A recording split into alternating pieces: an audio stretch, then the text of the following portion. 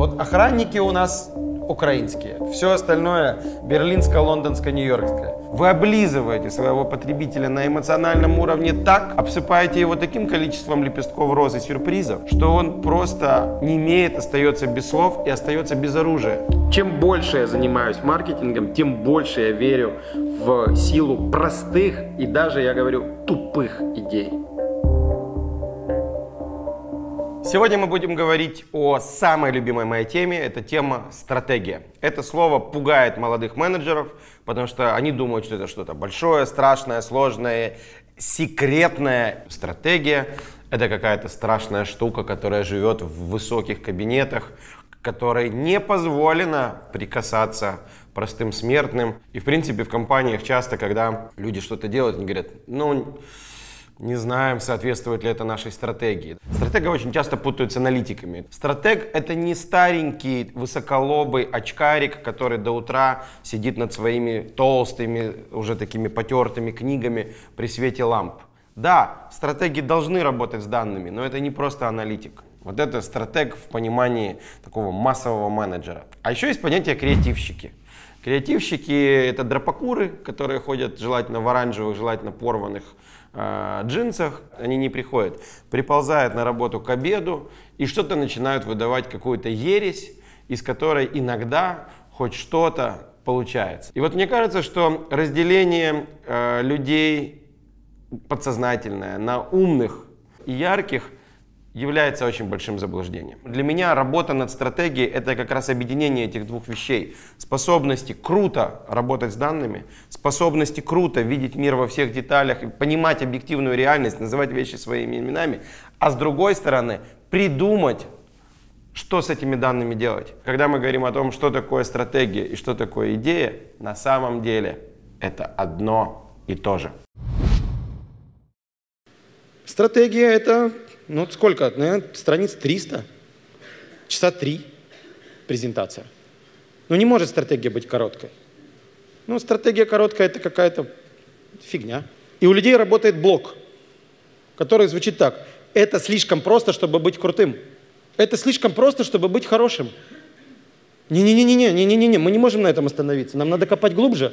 Нам надо формулировать, ну, как-то серьезно. А еще ужас. А если нет идей, а если нет идеи, то тогда нужны серьезные термины. Ну, надо ими обкладываться, там, про психографическую сегментацию вызывать на помощь. Что мы ее применим, и, в общем-то, наша стратегия будет в том, чтобы избегать кластеров и бороться за аффинитивность. У вас как с аффинитивностью? Нормально? Один из примеров, которые я могу привести, это, безусловно, Евгений Чичваркин. Кто он? Креативщик или стратег? Объективно и то, и другое. Мы говорили с ним о том, как он пришел к стратегии э, бизнеса Гедонизм Wines, которым он занимается сейчас. Евгений рассказал, что в первую очередь для начала он отказался от участия в любом крупном операционном бизнесе в Великобритании. Хотя до этого занимался именно таким бизнесом в России. Почему? Он говорит, я трезво оценил реальность. Я понимаю, что в России и в Великобритании принципиально другой уровень маржинальности, а поэтому принципиально другие зазоры в эффективности. Если в России а, прибыльность 5, 10, 15 процентов от оборота была окей, то в Великобритании, в больших системных бизнесах она ничтожна. Иногда это полтора процента, иногда три. Что это означает? У тебя нет права на ошибку. И поэтому говорит, что я понял, что я хочу заниматься по-прежнему ритейлом, Второе. Я хочу работать в надрыночном пространстве. Что такое надрыночное пространство? Это как пламя свечи, над которым находится точка самой высокой температуры. Но она не видна, потому что она над пламенем. Это точка с самой высокой маржой. И надрыночное пространство есть не над всеми, но над очень большим количеством рынков. Оно маленькое, но там очень тепло. Поэтому после этого э, Евгений начал выбирать то, а собственно чем торговать. Это опять был очень простой критерий. Он говорит, что был нужен товар, который дорожает на складах, а не дешевеет. Потому что если подумать, то продукты питания стремительно дешевеют, потому что они портятся, их нужно выбрасывать. Гаджеты устаревают, одежда выходит из моды и превращается в стоки. Но есть ряд категорий, которые дорожают. Как, например, старые автомобили, или определенный вид искусства, или вино. После нескольких месяцев, когда Евгений заходил в такие магазины, он говорит, что я заходил, я дышал, я смотрел по сторонам, я просто пытался послушать свое сердце. А хочу ли я владеть этим или таким магазином? Хочу ли я попробовать сделать такой магазин принципиально лучше, принципиально иначе?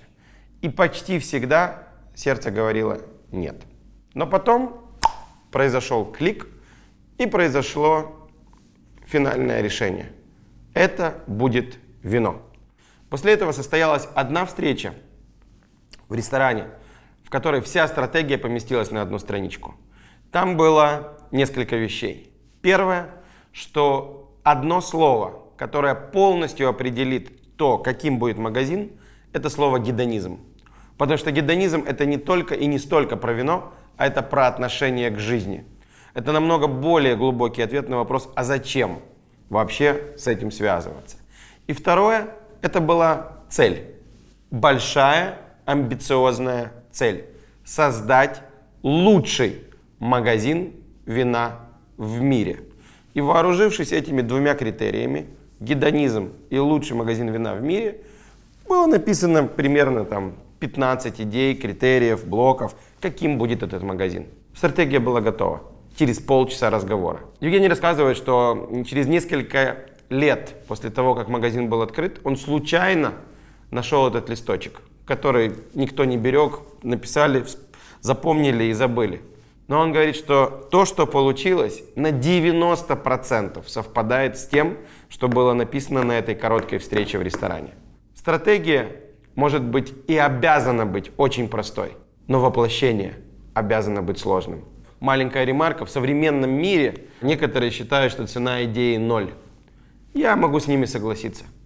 Иногда кажется очевидным то, что нужно сделать. Но вопрос, кто найдет в себе силы сделать это и сделать это блестяще. Если мы продолжаем разговор про гедонизм, то было понятно, что этот магазин, если он лучший в мире, то он должен быть один единственный. Это не сеть, это не сетка, это один единственный магазин. А соответственно для него самое важное была локация. Многие месяцы Евгений просто ходил по городу. Сужался, сужался, сужался круг поиска. Было, было выбрано буквально несколько улиц, где он должен находиться. В момент, когда появилось помещение и начались переговоры, начался почти бесконечный процесс юридического оформления. Потому что для того, чтобы подписать договор, а потом получить разрешение на строительство, ушло намного больше, чем год. Но вопрос заключается в том, что если вы приняли решение строить лучший магазин в мире, то что такое год? Ничего. Вы же занимаетесь стратегией, а не тактикой. После этого был еще процесс объединения двух помещений в соседних домах и так далее, и так далее.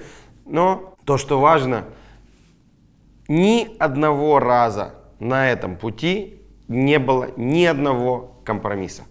Почему? Да потому что мы строим лучший магазин вина в мире. Какие могут быть компромиссы? Это относится ко всему, от архитектуры, расположения. Он, в итоге финальная локация – это самый центр района Mayfair, который находится почти стенка в стенку с самым доходным на квадратный метр автосалоном Porsche в Лондоне. В магазине были придуманы не просто единицы, а десятки деталей, как переизобрести то, как должно продаваться вино. Когда магазин открылся, он получил ужасную критику от обозревателей вина и э, тех э, людей, которые об этом пишут в прессе. Ребята с ужасом вспоминают, когда начали выходить статьи, где, например, винный критик говорит, вот я зашел в этот магазин, в новый магазин, который принадлежит этому безумному русскому, и я просто не знал, что мне делать. Плакать или блевать. Настолько бездарно сделан этот магазин. После того, как ты проводишь 700 собеседований лично для того, чтобы отобрать 15-20 человек стартового состава, после того, как ты инвестируешь огромные деньги то, чтобы создать лучшую коллекцию вина, наверное, это не совсем то, что ты хочешь получить в, э, после открытия в прессе. Но если ты веришь в свою стратегию, твоя главная и единственная задача – идти к своей цели. Поэтому, если мы говорим о том, что э, произошло после этого, После этого произошел постепенный, шаг за шагом, набор высоты. Через пару лет магазин стал прибыльным и на сию секунду продолжает расти и собирать награду за наградой, постепенно приближаясь к тому, чтобы стать действительно лучшим магазином в мире. Стратегия была очень простой, воплощение было очень сложным. И мне кажется, это очень хорошая формула. Иметь очень простую и очень внятную стратегию, которую можно не скрывать ни от кого, наоборот, можно рассказывать всем, но иметь очень целостное, очень комплексное, постоянное и самое важное, бескомпромиссное внедрение этой стратегии в жизнь. Продолжая разговор о стратегии, я хотел э, коснуться вопроса чем отличается стратегия от эффективности? Потому что, если не ошибаюсь, это был Друкер, если не ошибаюсь, где-то в начале 90-х он разделил два понятия. Это одно понятие операционной эффективности, это когда вы и ваша компания делает то же самое, что делают другие, но делают это чуть-чуть лучше. У вас тоже кофейня, как и других тоже кофейня, но у вас чуть-чуть больше сортов кофе э, чуть-чуть больше видов кофе, у вас чуть-чуть лучше обжарка, чуть приветливее официанты, чуть правильнее подобрана температура света в зале. И вот в совокупности эта операционная эффективность при прочих равных дает вам колоссальное преимущество. Это, об этом я говорю, когда говорю о маркетинговом многоборье. Все решают детали. Потому что в целом у вас может быть прекрасный бизнес. Но если человек придет и увидит, что у вас не убрано э, на ресепшн, что у вас, не знаю, водитель ругается с секретаршей на ресепшн, а при этом вы говорите что-то про клиент-сервис, то вся картинка мира разрушится. Поэтому вы должны найти возможность, как бренд, как та планка, которую вы задаете, как та уникальность, о которой вы говорите, проявится в маленьких деталях. Потому что маленькие детали – это то, что человек сфотографирует и опубликует в Инстаграм. Маленькие детали – это то, что он будет вспоминать. Только из маленьких деталей сформируются портреты. Из маленьких деталей строится творчество. Сколько утонуло людей на Титанике? Ну, примерно тысяча человек в целом. Но при этом в основном люди плачут, когда Титаник уже утонул, и Ди Каприо, замороженный, одиноко и аккуратно уходит под воду. Один человек. В целом это даже не погрешность. Это меньше 1% от общего числа погибших. Но, когда мы говорим о стратегии, то мое любимое еще одно определение, что это стратегия, это ответ на вопрос, что вы делаете такого, чего другие не делают в принципе. И это сложно, и это интересно. Одно не живет без другого. Иногда люди пытаются спросить, а что важнее? Важнее придумать что-то отличающееся или важнее педантично каждый день пытаться быть перфекционистом в своей работе?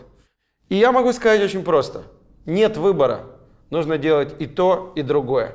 Если вспомнить прекрасную, наверное, лучшую книгу по стратегии, которую я читал, которая называется «Хорошая стратегия, плохая стратегия», то там понятие стратегии формулируется примерно так, что это поиск главного фактора, который сдерживает рост организации, поиск не банального, не ординарного, не тривиального ответа и способа эту проблему устранить, и третье – это консолидация всех усилий компании для того, чтобы внедрить это решение в жизнь. Фактически в современном мире есть только две возможные стратегии. Одна – это стратегия цены, вторая – это стратегия ценности. Что такое стратегия цены?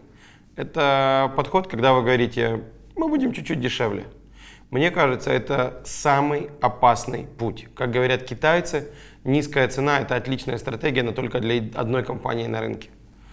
В современном мире для того, чтобы предлагать низкую цену, нужно быть гигантской компанией. Или нужно делать очень маленький, очень местечковый бизнес, когда вы готовы быть очень голодным в своем очень-очень маленьком городе.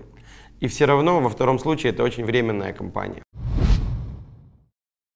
Если у вас есть что-то дешевое, благодаря тому, что вы так круто построили бизнес-процессы, что у вас низкая цена, низкая себестоимость, вы можете себе позволить об этом говорить, не надо об этом кричать. Потребитель не настолько глуп для того, чтобы он был не способен прочитать ценник. Потому что компания, которая смогла обеспечить низкую цену, и которая при этом все время говорит про низкую цену, она в голове у потребителя становится дискаунтером. Это ловушка.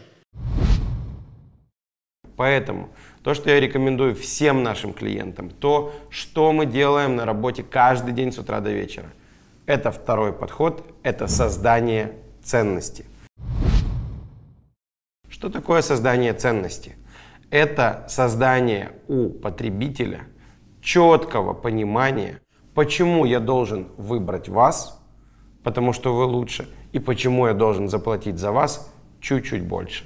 Вот эти два момента, выбрать при прочих равных или заплатить больше, это и есть создание ценности.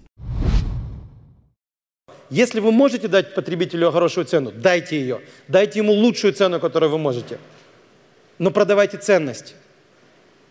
За ценность он будет вас любить, а за цену будет вас только использовать. А брендинг про другое. Но вопрос в другом. А как создать ценность? В данном случае в современном мире, мне кажется, есть два ключевых ответа. Ответ номер один – инновация – что такое инновация? Когда вы первыми внедряете какое-то новшество, что-то переизобретаете, что позволяет вам решать проблемы потребителя, задачи потребителя, жизненные какие-то вопросы потребителя лучше, чем другие. Благодаря новым технологиям, благодаря новому подходу, благодаря новому видению. Или подход номер два, если по любой причине инновации вам недоступны, это сервис когда вы не просто меняете подход, а даже если вы делаете что-то относительно классическое, вы облизываете своего потребителя на эмоциональном уровне так, обсыпаете его таким количеством лепестков розы сюрпризов, что он просто не имеет, остается без слов и остается без оружия. Потому что в ответ на любовь очень сложно отреагировать равнодушием, если эта любовь по-настоящему зашкаливает. Чем меньше бизнес, которым вы занимаетесь, тем важнее для вас понимать свою стратегию. Потому что у вас меньше ресурса. А если у вас меньше ресурса, у вас есть меньше права на ошибку. Самая большая ошибка, которую делают маленькие бизнесы, которую делают стартапы, они говорят следующее. Ну я же пока маленький. Какая стратегия? Мне же просто нужно делать дела. И когда они смотрят на цену, они думают, ой-ой-ой, я же маленький, мне же пока надо продавать подешевле. И это начало пути в никуда. Или они говорят о том, что ой, я же маленький, мне нужно все сделать правильно. И в итоге они становятся банальными, серыми, а как следствие незаметными и неинтересными. Мне кажется, что маленьким стратегия иногда нужнее, чем большим.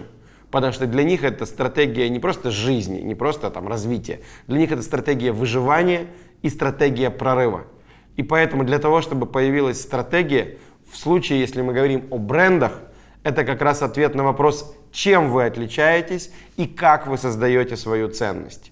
Если мы говорим о стратегии бизнеса, то это вопрос о том, как вы будете расти, преодолевая те факторы, которые сдерживают ваш рост. И это фактически объединение в одно комплексное решение.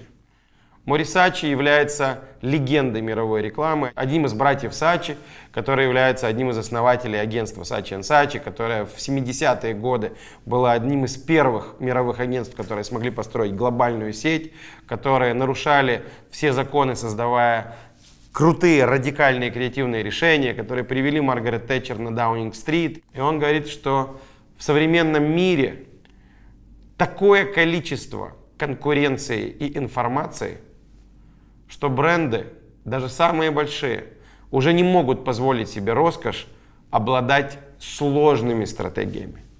Он говорил о том, что в современном мире хорошая стратегия бренда – это одно слово.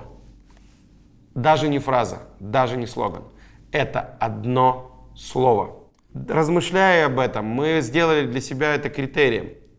В каждом проекте мы стремимся к тому, чтобы ответить на вопрос, чем мы отличаемся, в чем наша главная ценность, одним единственным словом.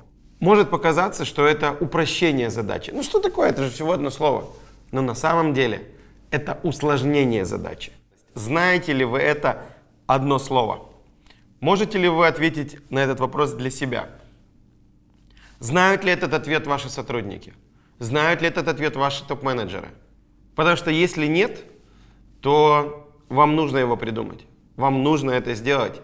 И все, о чем мы будем говорить дальше, на самом деле про это. Про то, что у вас должна быть точка кипения. Для меня это одно слово очень напоминает вот этот вот момент концентрации, который возникает, когда вы, например, берете большую лупу, подставляете ее под солнце, и вот этот момент, который концентрирует лучики, и там начинает что-то гореть. Потому что энергия, которая сконцентрирована в одном слове, она становится как пуля. Хороший бренд, я буду говорить об этом дальше, это дятел, который, выбрав для себя одну точку для удара, бьет в нее, не размываясь в течение нескольких лет. Проблема большинства компаний, которые говорят о том, что у них есть стратегия, в том, что они ее не соблюдают или они ее не формулируют. И в итоге они расфокусированы. Они хаотично бьют в разные точки, думая, а может это получится, а может это получится, а может вот это получится. Но в итоге это все больше похоже на разброды шатания и вообще на какую-то хаотичную стрельбу пьяного человека, который выскочил из бара. Проведите анкетирование у себя в компании. Задайте этот вопрос. Каким одним словом вы можете ответить на вопрос, чем мы отличаемся, в чем наша уникальность, в чем наша главная ценность для клиента. И посмотрите, насколько ответы будут бить в одну точку. Потому что если вы не сфокусированы, если у вас нет точки концентрации, то не будет прорыва. Если мы посмотрим на автопром, возьмем три простых примера. Volvo, Mercedes или BMW. Все знают о том, что Volvo выбрал как точку безопасности и бьет в нее очень долго и очень уверенно. И в итоге первая машина, которая мне пришла в голову после того, как я когда-то попал в серьезное ДТП, надо купить Volvo. Почему? Да потому что мой босс испугался того, что это серьезно. Если мы посмотрим на результаты краш-тестов, на объективные данные, то Volvo в принципе в рынке. Нет ситуации того, что Volvo показывает какой-то там невероятный отрыв по безопасности своих автомобилей. Но по восприятию это работает. Компания Volvo инвестировала очень много, является изобретателем ремней безопасности, и они очень много и долго вкладывали в усовершенствование этих систем в течение десятилетий, потому что у них была четкая стратегия. Если мы говорим о двух немецких брендах, например, Mercedes или BMW, то BMW всегда говорил о том, что это машина про динамику, и это машина для водителя. В то время как Mercedes всегда говорил о том, что это автомобиль про престиж, и это автомобиль для пассажира. Понятно, что есть миллион оговорок, и одни борются тоже за пассажиров, а другие за водителей – но тем не менее это две принципиально разные стратегии. И если мы вообще посмотрим на BMW, то BMW и их история является очень интересным примером. Во-первых, компания, которая возникла как производство авиационных двигателей, с тех пор не меняет свой логотип, который символизирует пропеллер, который крутится в воздухе и создает такую оптическую иллюзию. Второе, с момента, когда они начали производить эти авиационные двигатели, для них именно качество двигателей является одним из важных факторов, которые они используют как улику, чтобы объяснить, что их автомобили лучше. Но, если мы посмотрим на историю маркетинга, то в течение очень долгого времени BMW продвигался с помощью слогана «The Ultimate Driving Machine» или э, «С удовольствием за рулем». Что произошло несколько лет назад? BMW выбросила из своего позиционирования водителя. Фактический слоган, который используется во всем мире, очень простой. Joy is BMW. Точка. BMW – это удовольствие. И эта идея, это одно единственное слово, стало великолепной стратегией для компании во всем мире, которая стала стержнем, который объединяет все инструменты, которые возникают в коммуникации. Вы понимаете, что если вы хотите получать удовольствие от вождения, то это BMW. И все усилия гигантской компании сконцентрированы на то, чтобы выполнить условия этого договора с потребителем. Мы вам удовольствие, а вы покупаете у нас машину. Вот такой уровень сложности. Мне кажется, что когда мы говорим о стратегии, важно понимать, что о своей стратегии вы должны иметь возможность рассказать своему восьмилетнему ребенку. Если вы не можете этого сделать, что-то не так. Есть несколько простых тестов. Есть SMS-тест. Вы сможете отправить свою стратегию в смс -ке. Если вы скажете, нет, у нас же 150 слайдов, у нас графики, значит у вас нет стратегии. Сможете ли вы рассказать свою стратегию в лифте за 10 этажей, пока начальник говорит, вы знаете, отменилась у меня э, встреча с вами, я еду на другую, более важную встречу. Но ничего страшного, проводите меня до машины, рассказывайте, что вы там напридумывали. Чем больше я занимаюсь маркетингом, тем больше я верю в силу простых и даже, я говорю, тупых идей. Хорошая идея, она всегда тупая идея, поверьте.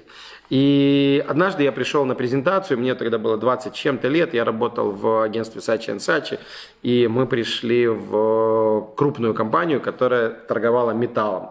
Это был тоже один из лидеров рынка, и руководил этой компанией очень прямой человек, который начинал свою карьеру металлургом, прошел всю карьерную лестницу, я не могу даже представить, чего это ему стоило, и на момент нашей встречи руководил этим крупным предприятием. Я открываю презентацию, у меня 100 слайдов, все идет по плану, но примерно на втором слайде, на третьем он меня перебивает примерно следующими словами. Так, стоп. Всю эту американскую фигню я знаю. Что вы конкретно предлагаете? В принципе, любой нормальный менеджер западной компании в этот момент проседает. Я говорю, секундочку, перехожу на, по-моему, 67 или 73 слайд и говорю ему следующую фразу. Вы первый в стране супермаркет металла. Вы не металлобаза. Что? Почему? Я говорю, сейчас я расскажу вам об этом. Мы переезжаем на третий слайд, я спокойно презентую еще 60 слайдов, периодически каждые 3-5 слайдов напоминая о том, что поэтому вы поймете, что вы не металлобаза, вы супермаркет металла. Что я могу сказать? Что после этой презентации, которая в итоге длилась там чуть меньше, чем 45 минут. Они приняли это позиционирование, они изменили сервисную модель, они вышли с прямой рекламой и в течение примерно 10 лет активно рекламировали, продвигали себя как первый супермаркет металла. И представьте себе, если бы наша идея состояла из 20 слов и так далее. Но иногда вам нужна именно вот эта вот пуля, когда вы говорите «нет», вы не металлобаза, вы супермаркет. Пока у вас нету такой фразы, пока вы не можете объяснить свою стратегию э, буквально за считанные секунды, вам нужно продолжать работать, вам нужно продолжать упрощать. Есть еще один тест. Это визитка-тест. Когда вы берете свою визитную карточку, ее переворачиваете и можете написать стратегию там. Если у вас неудобная для этого визитка, возьмите обычный пост-it, квадратик бумажки, которых куча в каждом офисе. Напишите стратегию на нем. Если вы не можете это сделать, значит нужно продолжать работать. Потому что мне кажется, что слишком часто за длинными, толстыми, сложными и не очень понятными, может быть даже очень правильными формулировками скрывается отсутствие мысли. Стратегия — это суть. Это сплав идей, данных, видения, целей, который способен пробивать стены и двигать вас вперед. Иногда эти тесты проходят в достаточно стрессовом формате. Работа со стратегией – это простая идея и сложное, комплексное, постоянное воплощение, а не сложная идея и очень простое, примитивное, одноразовое воплощение. Ответьте мне на простой вопрос. Вот где заканчивается бизнес-стратегия, а начинается бренд-стратегия? Мне кажется, что вообще в современном мире этих граней не существует. Маркетинг переходит в продажи, HR становится пиаром, а бренд-модель становится бизнес-моделью. Вы делаете бизнес. Ваш бизнес должен быть уникальным. У вас есть четкое видение того, а в чем ваша уникальность. Это фундаментальное видение, но оно должно влиять на массу мелочей, на массу каждодневных решений, которые вы принимаете. Вам нужно доказывать, что это не пустые слова, а это действительно что-то, во что вы верите, а значит, инвестируете в это свое время, свои деньги и свою душу. Если мы говорим о бизнесе, если мы говорим о маркетинге, как о многоборье, это означает, что в разных аспектах вашего бизнеса, начиная от какой-то операционки, производства, сервиса, организации продаж, можно много спорить, сколько сейчас в маркетинге P. Кто-то говорит, что их 4, это классика. Кто-то говорит, что их 7. Я считаю, что их 120. Сколько вы хотите P, столько вот у вашего бизнеса P. Но э, в каждом аспекте эта уникальность должна проявляться. Потому что если этого нет, то бренд это просто бла-бла-бла. Вы можете задать вопрос, окей, ну а почему, если это так очевидно, что нужно отличаться, не все компании уникальны? Потому что я могу сказать так, что путь к собственной уникальности – это достаточно сложный путь.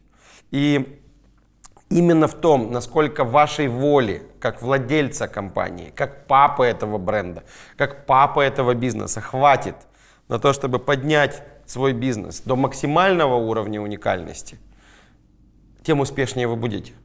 Потому что простое копирование готовых бизнес-моделей – отличный путь.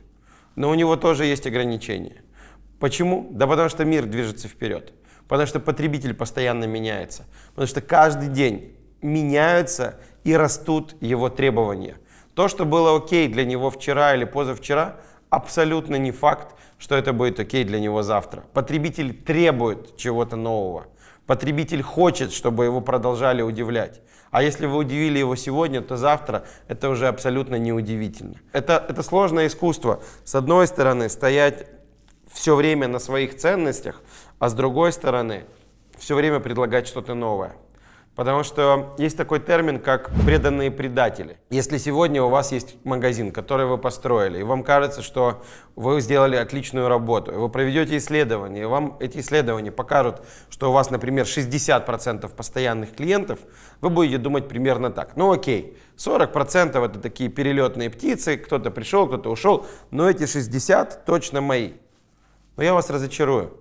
Потому что если завтра через дорогу откроется новый магазин, в котором будет все чуть-чуть лучше и будет почему-то интереснее, то все эти 60%, которые еще вчера были вашими лояльными клиентами, они скажут, экипаж нашего корабля прощается с вами, и больше вы их не увидите.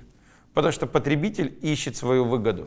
Да, у него есть какой-то барьер прощения, когда он готов прощать вам ошибку из-за того, что он любит ваш бренд, который готов переплачивать просто по привычке. Но вам каждый раз нужно доказывать, что это слово это не просто бла-бла-бла. Каждый раз представляя новые продукты, каждый раз представляя новые услуги для того, чтобы бороться за свой статус. Бренд и стратегию невозможно сделать, сказать все, готово, точка. И там, и там есть константы, вещи, которые вы можете рассчитывать, что будут жить долго. Иногда это десятилетия или сотни лет, но иногда это всего несколько лет и есть переменные. Если весь ваш бизнес будет стоять только на переменных, это будет каша. Если это будут только константы, он быстро устареет и станет неактуальным. Поэтому для вас это всегда баланс тех вещей, которые никогда не меняются, тех вещей, которые являются основой вашей уникальности, и тех вещей, которые меняются постоянно для того, чтобы ваша уникальность была актуальной. Теперь на уровне воплощения я разделяю три уровня. Это просто, это примитивно, но тем не менее. Уровень не окей, уровень окей и уровень вау.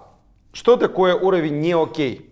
Когда вы выбираете свой бизнес, например, вы открываете Ресторан в бизнес-центре. Очень простая история. У вас есть базовые ожидания потребителя в этой категории. Потребитель хочет, чтобы у вас был салат греческий, и в салате греческом была фета. Это нормально, это окей. В этом нету ничего сверх, в этом нету чего-либо там а, невероятного. Но он хочет, чтобы там была фета и оливковое масло. Поэтому, если вы будете делать салат греческий, добавляя туда, например, брынзу, или добавляя туда даже моцареллу, или добавляете более туда сыр голландский, и заправляете его, например, не оливковым, а подсолнечным маслом, то это не окей. И я могу сказать, что проблема множества бизнесов, по моим оценкам, наверное, более чем половины, она заключается не в том, что они делают что-то невероятное, но неправильное а заключается в том, что они делают базовые ошибки. У меня есть миллион, миллион примеров, как это проявляется. Когда ты приходишь в итальянский ресторан, говоришь, а можно бокал просека? Они говорят, что? Просека? Не, у нас только местное шампанское, наше. Это не окей. То есть, если вдуматься, то большинство претензий потребителя возникает не тогда, когда вы не сделали Э, что-то невероятное, а когда не выполнили базовые вещи. Второй уровень, можно сказать, я бы назвал его окей плюс, когда действительно вы сделали все вещи, вы все делаете перфектно, и у вас везде чек-листы, и вы проявляете вот такой вот страсть и passion по поводу отшлифовки каждого маленького кусочка. Это большое искусство, да, это операционная эффективность, но тем не менее, вам нужно то, что называется полоскать свой творог, как говорил Джим Коллинз в книжке Good to Great. Постоянно пытаться бороться с мелочами. Мелочи убивают. Совокупность мелочей убивает мгновенно. Люди быстро привыкают к хорошему. Неважно, это делаете вы или делают ваши коллеги по рынку. Думайте об этом. Думайте о том, где стоит планка у потребителя и старайтесь стрелять чуть-чуть выше нее, как минимально базовое требование. Потому что по моему опыту, э, по моим наблюдениям, если вы просто сделаете продукт окей, его можно не делать. Только если вы не видите, что это какая-то тотально пустая ниша. Вам нужно ставить планку выше. И эта планка вау. Что это значит? быть не просто лучше, а быть драматически лучше. Настолько, чтобы человек, который будет пробовать ваш сервис, визжал от восторга, скулил от восторга, хрюкал от восторга, хотел это шерить, хотел тащить к вам за руку своих друзей, хотел прийти к вам снова прямо сегодня, хотел снова пойти на этот фильм, хотя он уже на нем был, хотел перечитать вас, перечитать ваш бренд. Это ваша планка, это ваша базовая задача. Даже если это вам удастся не на 100%, вы все равно будете намного выше, чем уровень окей. В этом проблема, что когда компании начинают думать о том, а что за бизнес они создают, что за бизнес они делают, они занижают себе планку. Они думают, что уровень окей, то, что они побороли не окей, это уже какое-то великое достижение. Фу! Вам нужно задирать планку вау. Как я задираю эту планку для себя и для наших клиентов. Мы делаем это очень просто. Первый вопрос. Мы ориентируемся на самых требовательных клиентов. Мы не думаем, что клиенты будут нам что-то прощать. Мы берем клиента, который является экспертом в категории, который является, может быть, даже присыщенным, может быть, даже избалованным, который уже везде был, все видел и которого сложно удивить. И мы стараемся ставить планку, удивить его вот этого самого требовательного, самого привередливого, самого капризного клиента.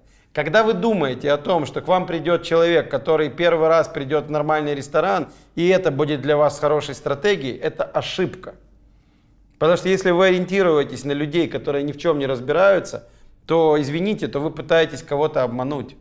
Вы пытаетесь подсунуть им что-то вторичное или не очень качественное, или очень хорошее. Второй рецепт, который я могу сказать, это то, что не пытайтесь ориентироваться на свой маленький локальный рынок. Вы можете мне сказать, окей, но я из маленького города. У нас в городе этого нет. И поэтому я первый парень на селе. Но это временно.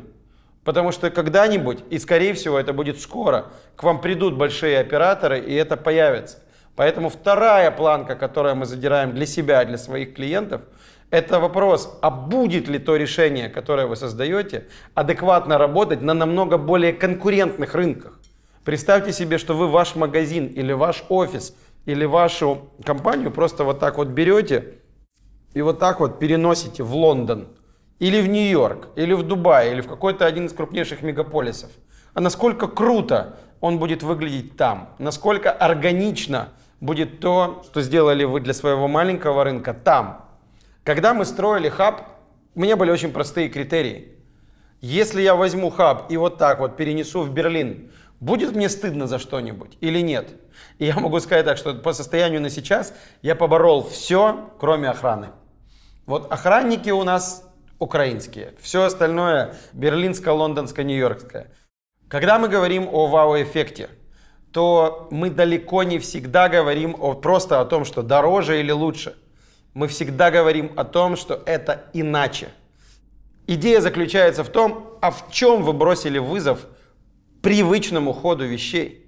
Что вы сделали не так? Вау-эффекта добиться очень просто. Я всегда говорю, формула простая. Удовлетворение равно результат минус ожидание. Самый лучший вау-эффект возникает тогда, когда потребитель ничего не ждет. Самый лучший вау-эффект – это сюрприз. Ну, я могу приводить миллион примеров. Известный бизнес-тренер приехал в какую-то региональную гостиницу. Пришел в номер.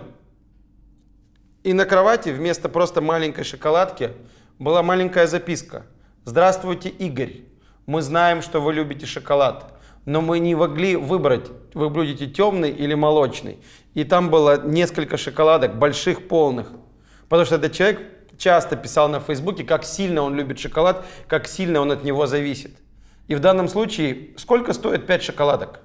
А сколько стоит пост одного из там ведущих бизнес-тренеров, например, э, в СНГ? Это несопоставимые вещи. Но когда человек получает такой сюрприз, когда он получает такую персонификацию, то у него происходит, естественно, всплеск эмоций.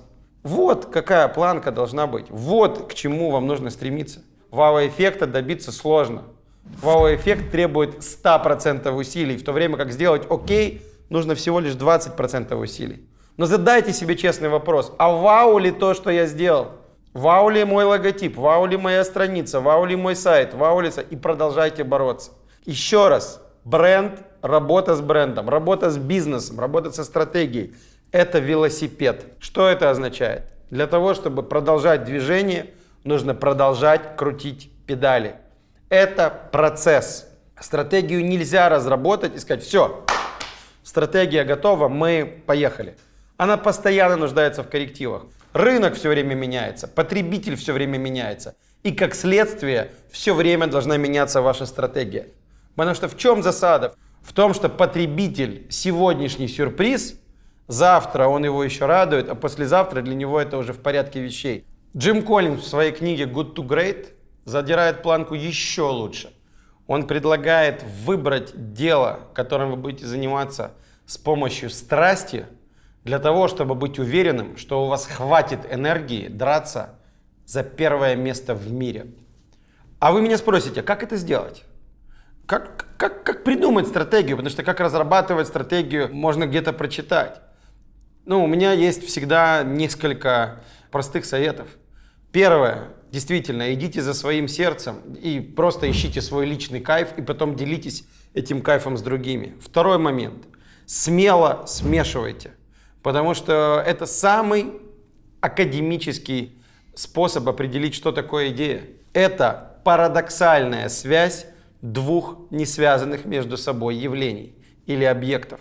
Вы можете объединить какой-то ресторан, который вы увидели в Милане, с картиной, с которой вы столкнулись на выставке у себя в родном городе, умножить это на ваш опыт, который вы приобрели с дочкой, когда вы с ней катались на каком-то аттракционе, и тогда у вас появится что-то новое.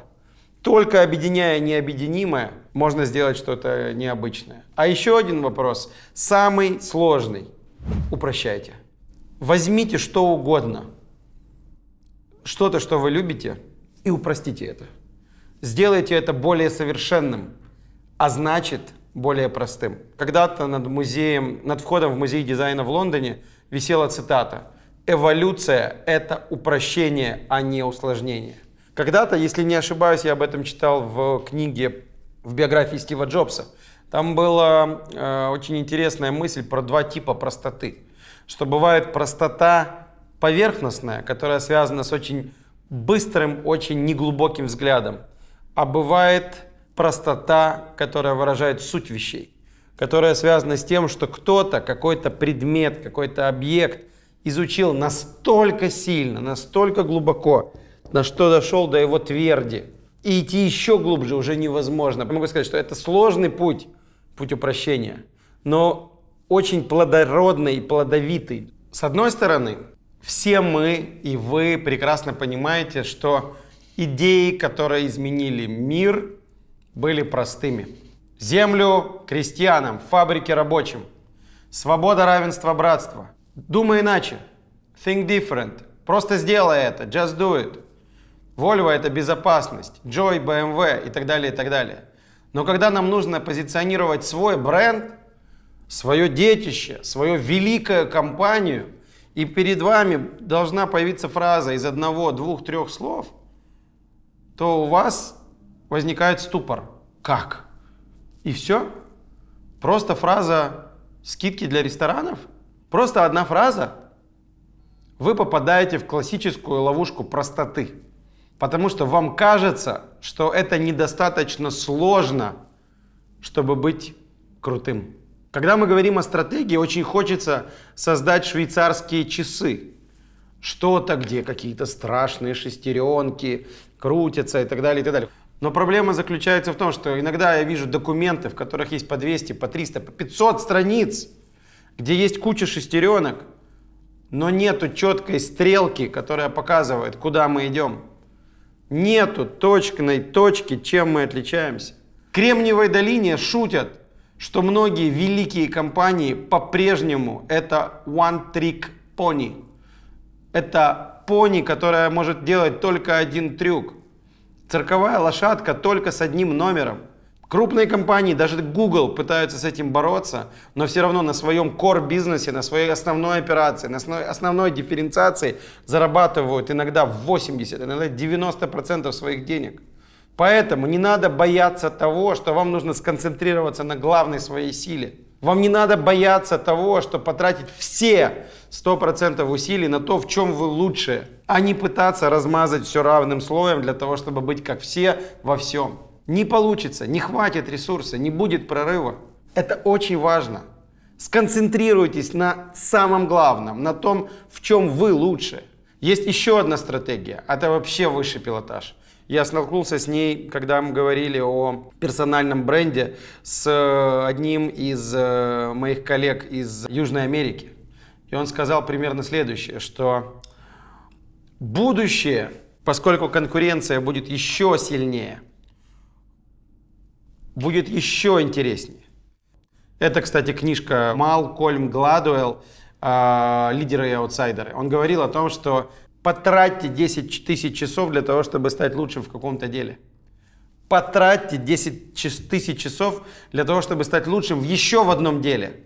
А потом объедините эти два таланта во что-то, что будет невероятной комбинацией, которой не будет ни у кого. Представьте себе, насколько это высший пилотаж. Подумайте об этом. Может быть, у вас это получится.